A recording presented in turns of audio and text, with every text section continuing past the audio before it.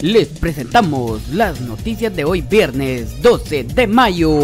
La ONU pide mejores respuestas a la inmigración en América tras el fin del título 42. La Agencia de la ONU para los Refugiados y la Organización Internacional para las Migraciones reclamaron hoy a los Estados Unidos más colaboración y mejores iniciativas para la acogida de migrantes y solicitantes de asilo, un día después de que Estados Unidos pusiera fin a su controvertido título 42. El periódico detendrá su edición diaria y señala persecución contra su personal. Este viernes 12 de mayo el periódico informa que su edición diaria será detenida y su última publicación será el lunes 15 de mayo en curso, luego de la persecución penal, política y económica contra su personal y el medio de comunicación. En la publicación, el periódico señala la persecución penal contra el presidente del medio, José Rubén Zamora, así como contra periodistas y columnistas del diario, quienes son investigados en un caso en el Ministerio Público. Lo señala de haber cometido lavado de dinero y chantaje.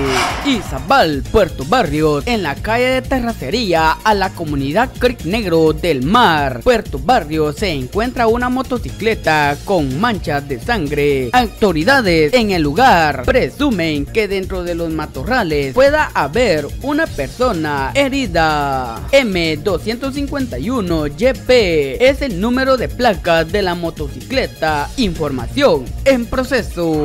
Urgente, policías desmantelan banda de robacarros que operaban en redes sociales. Investigadores de la sección contra robo y hurto de vehículos de la DEI PNC dieron seguimiento a una denuncia sobre el robo de vehículos cuyas partes y accesorios eran ofrecidas como repuestos en las redes sociales. Según autoridades, se estableció que el centro de operaciones de la organización criminal era la colonia El Milagro, zona 6 de Misco, logrando capturar en flagrancia a Eddie Estuardo Pérez Guzmán, Emanuel Isaac Carmeño Martínez y Mario Ariel García Gómez. Según informe, los detenidos son presuntos responsables de robar a mano armada vehículos en diferentes zonas de la capital. Posteriormente los desmantelaban en talleres y luego ofrecían piezas por internet.